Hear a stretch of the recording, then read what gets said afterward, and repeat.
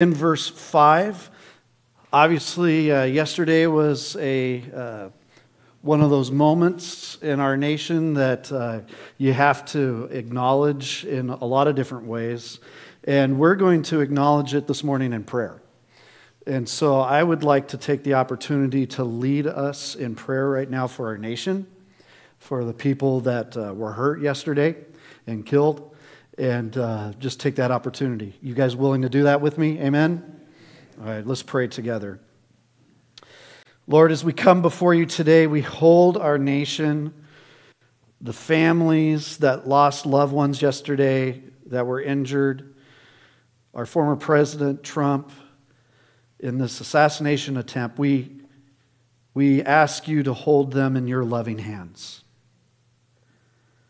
Just as Psalm 23 that we just read, Lord, reminds us that you are our shepherd we ask that you guide and protect our nation. Lead us in paths of righteousness for your name's sake, so that we may glorify you in all that we do. Lord, in the midst of evil, we trust your provision and grace. You are the God of abundance, you are the God of restoration. And we pray for healing to reign in our land. And we know that true healing only happens through Christ. May your goodness and mercy follow us as we serve you and share your name all the days of our lives.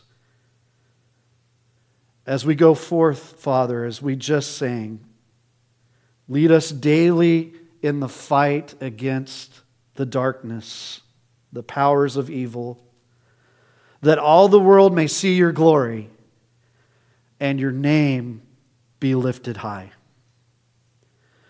Lord, we thank you for being our refuge and our strength, truly our shepherd, who cares for us deeply Help us to trust in your sovereignty and to seek your wisdom in all decisions that affect our nation and our homes. And Lord, may your peace, which surpasses all understanding, guard our hearts and minds in Christ Jesus. And all of God's people said, Amen. Amen. 1 Corinthians 16 we're looking this morning in verses 5 through 12. And as I looked at these verses this week again, I, I, look at what the Apostle Paul shares, and I'm led in my mind back into church history to a, a missionary, a, a great missionary. Now, I may have mentioned this before, but as our kids were growing up, we read through the series of little missionary books with them. And I am so thankful that we did that because I think I learned more than they did. It, they were really amazing. And one of those great missionaries was Hudson Taylor. You see, Hudson Taylor had a vision, had a heart for the inland regions of China, and, and he was known to say this quote that many people use God's work done in God's way will never lack God's supply. Have any of you heard that before? Kind of a, his, his famous quote. Well, let me give you the context for that. He was a trailblazer, really, in what was known as the great century of missions for the church, the 19th century, leading a missionary thrust into the inland regions of China. He had first landed in Shanghai, in China, on March 1st in 1854. A little different than flying in and saying, Hey, I'm going to be a missionary. His first missionary tour, he stayed along with the other missionaries there in that port city, and the other missionaries were kind of hugging along the coast at that point in the mid 19th century. And he realized that as he traveled around, there were vast inland regions Millions of Chinese people that had never heard the gospel had no opportunity to hear the gospel. And I want you to hang on that word opportunity this morning. And he had a heart for this, and it was a vast undertaking, and he knew that he needed both people and resources. He knew he needed both people, and let's redefine resources to what we know it, what it really means money. He needed people and money, and those resources had to be partnered together and linked together that God would raise up qualified individuals and raise up funds to support them at the same time. And as he thought about all the people and then all of the money that it would take to support them, he was led back to consider God's ways with the Israelites. And he wrote a letter to his friend saying this. Here's another quote that I think you can hang your hat on in life Our Heavenly Father is a very experienced one. Do you get it? Our Heavenly Father is a very experienced Heavenly Father. God is experienced. He knows very well that his children wake up with an appetite every morning. And what did he do? He sustained millions of Israelites in the wilderness for 40 years. And so when he was thinking of that, he wrote this letter to his friend saying, God's work, obviously, thinking of the Israelites, thinking of that journey for 40 years, God's work done in God's way will never lack God's supplies. And that's the context of that famous statement. And so a missionary society was founded, the China, China Inland Mission ultimately responsible for bringing more than 800 missionaries to China, began 125 Christian schools that directly resulted in 18,000 Chinese people making a profession of faith at that time, 300 worker stations. Now, what did Hudson Taylor mean then again? when he said God's work done in God's way will never lack God's supply? We have to take it apart. What is God's work? And what is God's way to do that work? And that's actually what's in front of us in the scripture here. God's work done in God's way will never lack God's supply. The wisdom the wisdom of God is a matter of choosing not only the proper destination, but the best way to get to that destination. God's wisdom is not random, God's wisdom is meticulous. He knows where we're heading, everyone. He's a wise king. He's also chosen the best way to get there.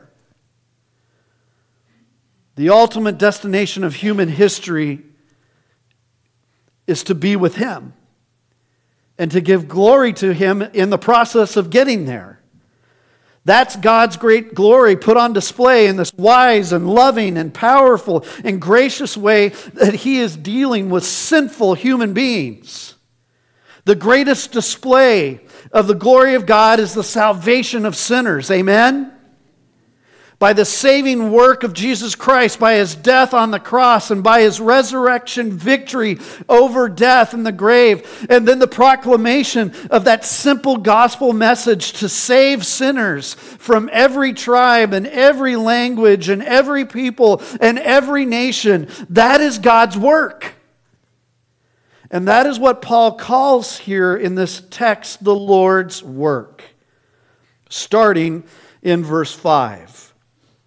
But I will come to you after I go through Macedonia, for I am only going through Macedonia, and perhaps I will stay with you or even spend the winter, so that you may send me on my way wherever I may go.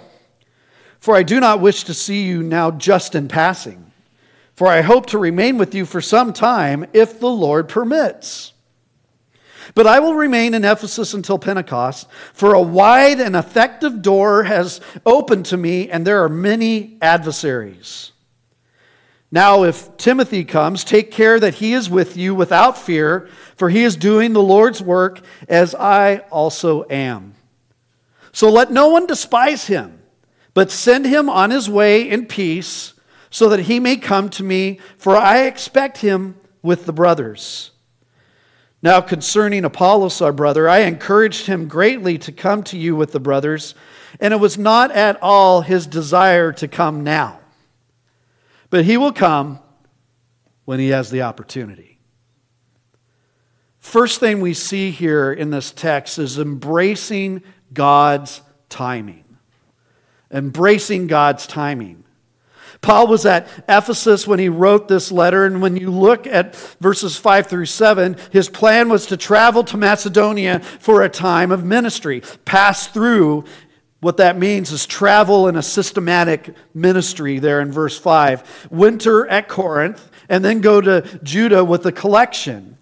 From November to February, it was impossible to travel that area by ship, so it would have been convenient for Paul to stay in Corinth and be with his friends. There were some problems to solve in the church, as we had known, and Paul had promised to come and help the leaders. However, various circumstances forced Paul to revise the plans at least twice. Plan B was to visit Corinth then, then travel through Macedonia, passing through Corinth the second time on his way to Judah. You can see that in 2 Corinthians 1 15 and 16. Instead of one long visit, he planned two shorter visits, but even this plan did not materialize. Then there was plan C. Turned out to be a quick and painful visit to Corinth, after which he returned to Ephesus. He then went to Troas to wait for Titus, who had been sent to Corinth visited Macedonia, then traveled to Judah. He did not spend as much time in Corinth as he had hoped or as they had expected.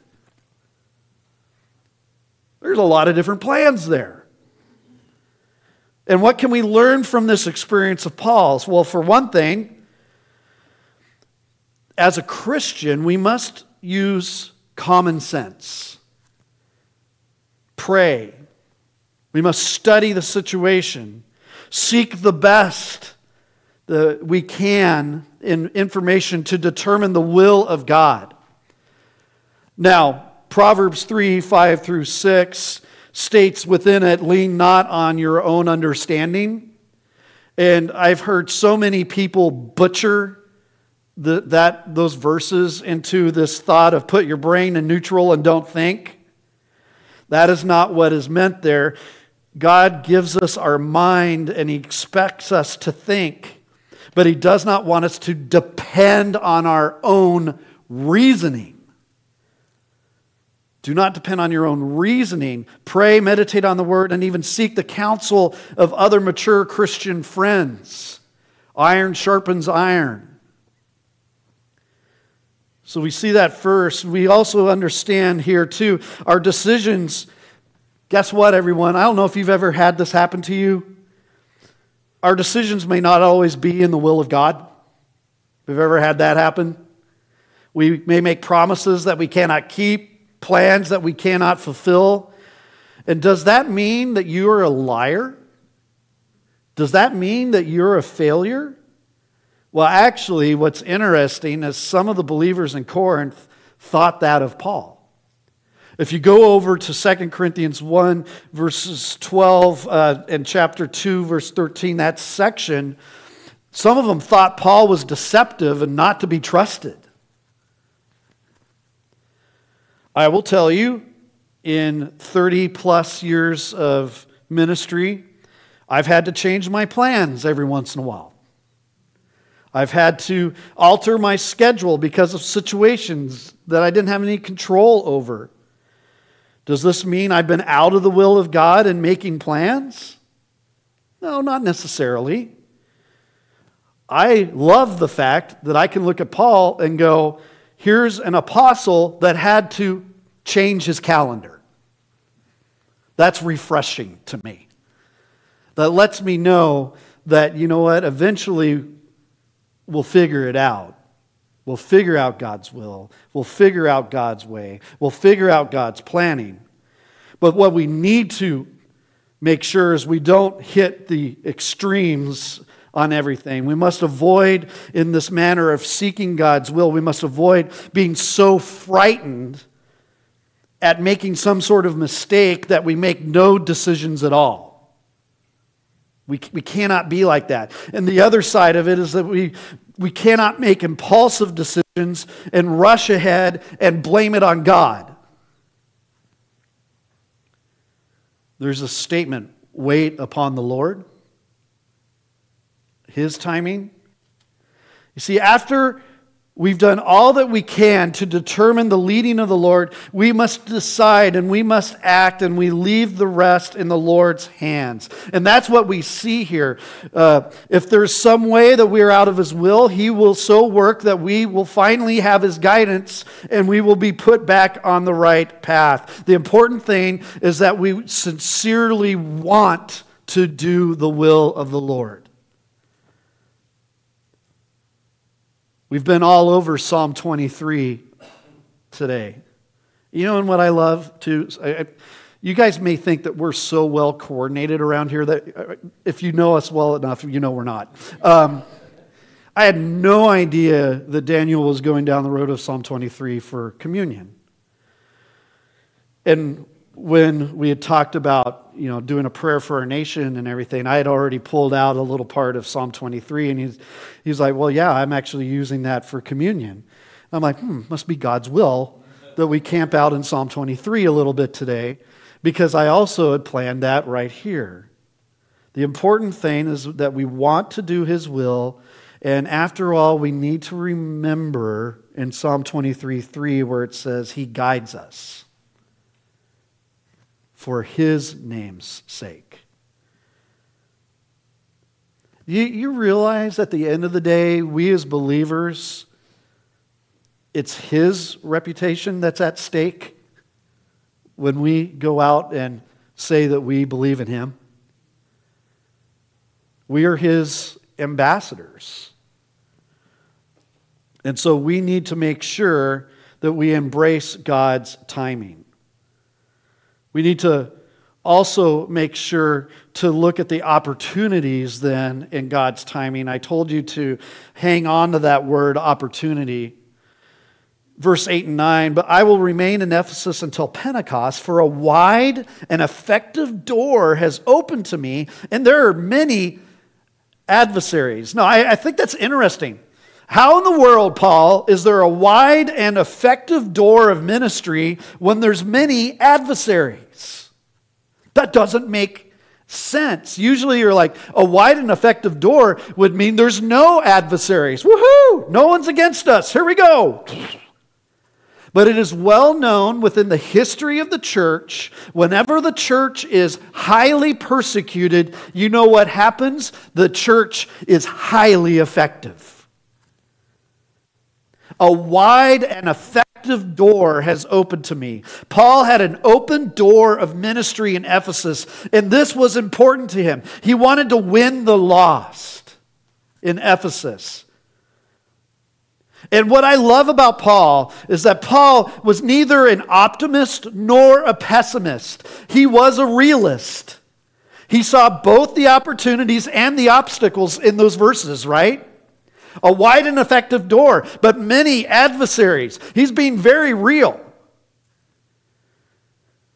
God had opened a great door for effective work, and Paul was going to seize on the opportunity while they were still there. There's an ancient Roman proverb that says this While we stop to think, we often miss our opportunity. Once we know what to do, you do it. You don't delay. You can think, man, I'm, I'm the chief of all thinkers sometimes. You know, you have the chief of all sinners. Yeah, we all have that. But are you also like me, where every once in a while you can figure out all of the reasons not to act? Man, I've got them all down. Every situation, I can figure out all of the reasons why I shouldn't do anything. Even though Paul was in danger in Ephesus, he planned to remain there while the door was open. It's, it, and it has a picture here in the language of being a wise merchant, actually. He had to buy up the opportunity. A wide and effective door, the language also means they're buying up the opportunity before it vanished and would never return. The stewardship of opportunity is important. The individual believer, the church family, must constantly ask, What opportunities is God giving us today? Instead of complaining about obstacles, we must take the advantage of the opportunities and we leave the results to the Lord.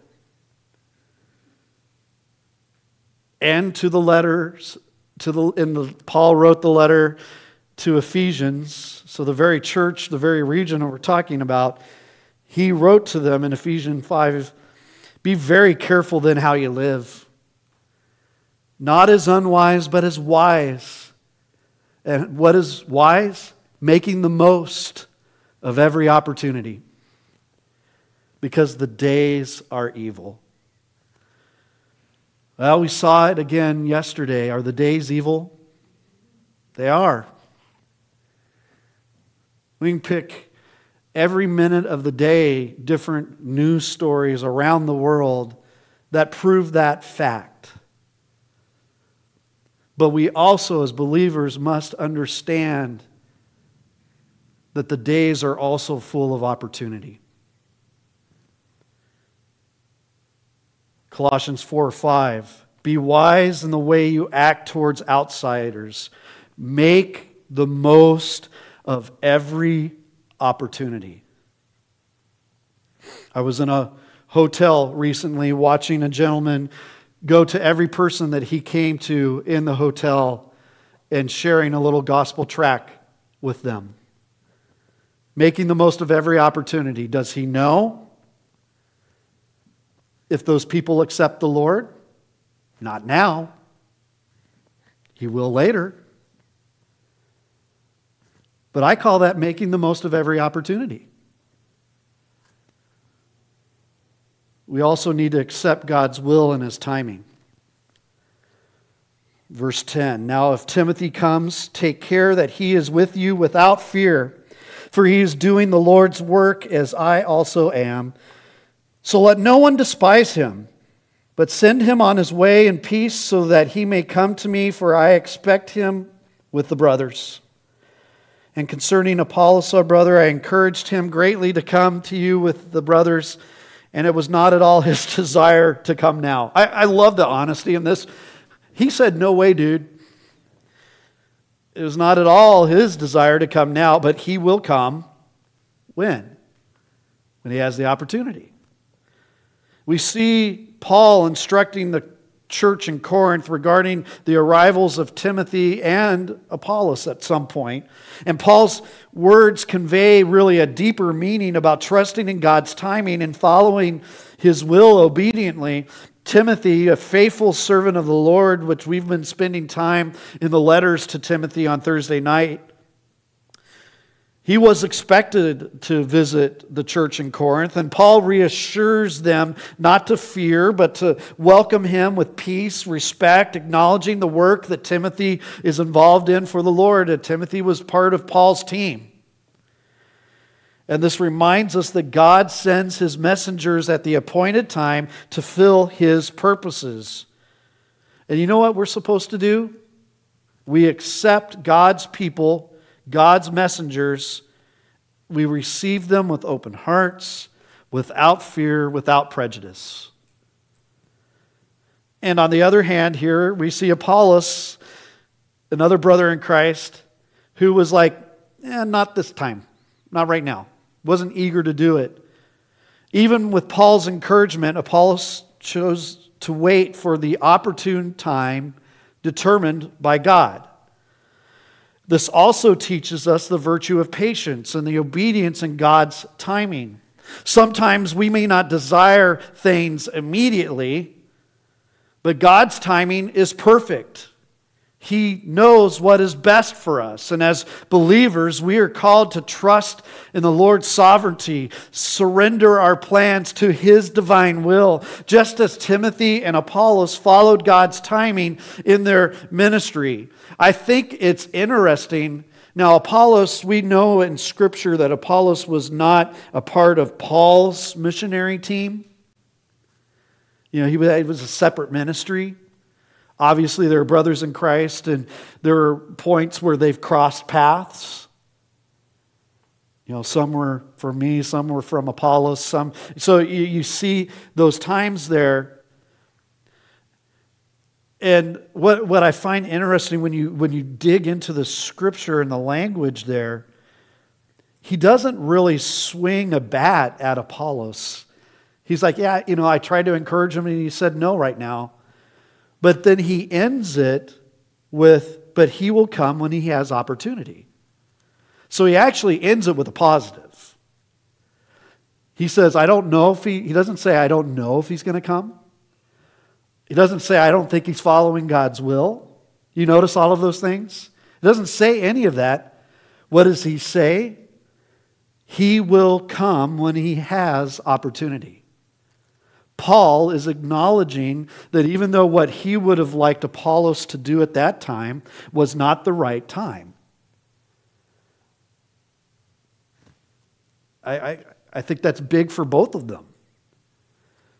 How easy would it be for Apollos to listen to Paul and say, hey, whatever you do, whatever, whatever you want me to do, I'll drop everything and do it right now, without thinking about, is this God's will for what he wants me to do right now? And he obviously thought about it. And he said, Not right now, but when I have the opportunity, I will. So there's obviously ministry going on that he felt like God had not released him from. The virtue of patience, the virtue of obedience and God's timing. Man, I, how many times have you wanted something to happen in your life and you've wanted it to happen immediately? But we do need to remember that God's timing is perfect and He knows what is best for us. He is sovereign. We surrender our plans to Him. We follow God's timing in our lives, just like Timothy and Apollos followed in their ministry. We seek guidance. We wait upon Him in faith and practice. We should not be anxious or discouraged when things do not happen according to our timetable but we submit to the greater plan. And what is that plan? God's plan. 1 Peter 5, verse 6. Therefore, humble yourselves under what? The mighty hand of God. That he may exalt you when? At the proper time. Casting what? All of your anxiety on him, remembering what? Because he cares for you. Because of all of that, Peter writes, Be of sober spirit, be watchful. Your adversary, the devil, prowls around like a roaring lion seeking someone to devour. Resist him. Firm in the faith knowing that the same experiences of suffering are being accomplished among your brethren who are in the world. And after you've suffered for a little while, the God of all grace, how much grace? All grace. The God of all grace, who called you to his eternal glory in Christ will himself restore, strengthen, confirm, and ground you. Now, you need to take 1 Peter 5, 6 through 10 and slap it on your calendar.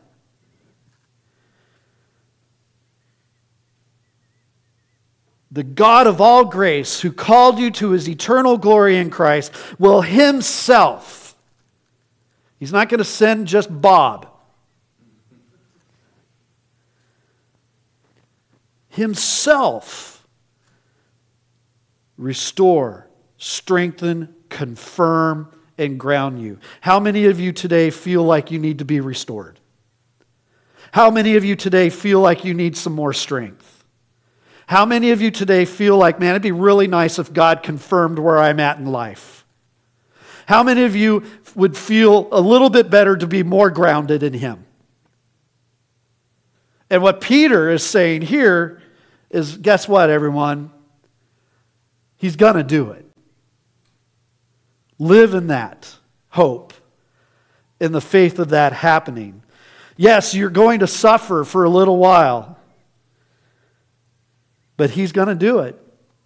He is going to do it. Accepting God's will in His timing requires faith and obedience and patience. We need to be like Timothy. We need to be like Apollos. We need to be like Paul. Willing and faithful to follow God's lead, even when it may not align with what you immediately think should be your life right now. Trust in His perfect timing. Confidently walk in the path that He has set before us. I may walk in a path that's dark and evil, but He is my shepherd, and He is going to guide me and give me strength and lead me to His glory. And so we need to be committed to God's work. And you look around yesterday, today, and forever Jesus says it's, it's going to be a battle. It is an ultimate battle between evil and Satan and the perfect love of God. We got to be committed to the work that's at hand. Paul was dedicated to spreading the gospel. We need to emphasize the importance of that in our own lives and think about how uh, can I be involved in serving God, supporting ministries that spread His word, being a person that is got enough guts to share truth. We need to be a team. Did you catch that there's a team going on here in this little section? Hey, when Timothy comes, Great. And the brothers are going to go with him, which implies there's a team. The value of teamwork is huge. And Paul sought the church's support in his mission, showing that we also should not work alone, but rely on support of fellow believers in spreading the gospel. We are his team here at West Hills. If you've been on leadership with me for any time, you've heard me say from time to time remain flexible and patient, which is really more preaching at me. But we need to be flexible and obedient. Be flexible and obedient to God's leading. Paul was willing to change plans according to God's will. So we need to be open to God's direction, even when it may be different from what our original plans were. We need to pray, pray, pray. Pray for guidance. Constant communication in God through prayer and reading of His Word, seeking His guidance in all aspect of our lives. Paul's reliance on prayer and seeking God's will serves as a model for us to follow. And then encouragement, everyone encouragement and support. Just as the Corinthian church supported Paul, we are called to uplift and assist those who are spreading the gospel. There's a reason why we've made some shifts, even up front in our prayer times and things like that, where we're, we're praying for other churches around us, like minded churches. Because you know what? We're a team together, we're in this thing together. We're working together to reach the lost. We're spreading the gospel. We need to trust in God's provision. God is faithful. Amen? We need to be mission minded in how we live. We need to see every interaction, every interaction, let me say it one more time, every interaction as an opportunity, as a ordained chance, which of course means that it wasn't by chance. An ordained opportunity to share God's love, impact others for Christ. We need to do all of that in serving Him. Will you join me, brothers and sisters here at West Hills, in being faithful in following God's timing and being faithful to walk through the open doors of ministry, of opportunity that He gives all of us? Amen? Let's pray. Lord,